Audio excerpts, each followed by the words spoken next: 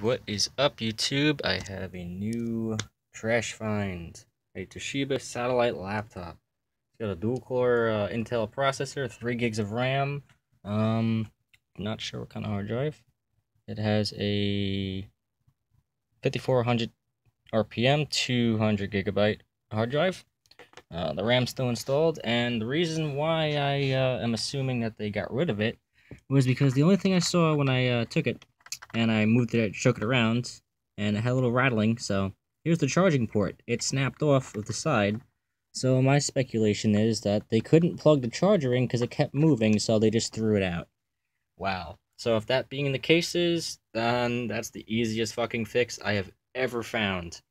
So, it's Toshiba satellite laptop. I still have some of the stuff connected. I had to pull the keyboard out. Um, I made real careful to, not to break anything except for the uh, little bits of plastic on the bezel and whatnot. And you can see the uh, screen's bezel is taking uh, off.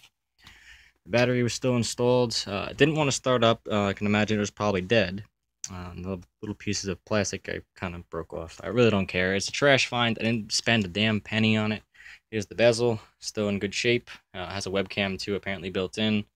So I'll be working on this sucker for a little while, and hopefully I'll get it up and running because I do not have a computer. Um, so I'm kind of shit out of luck on that, but uh, if it turns out that the only thing wrong with this thing is a charger port, then I am in the best of luck ever. This is the best find ever. Um, I actually, uh, apparently it was an eBay order.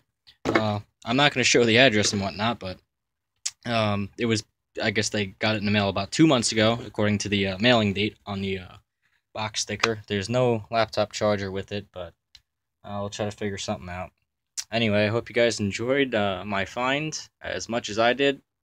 And please like, rate, oh, like and rate the same thing, but like, comment, and subscribe. Thanks for watching.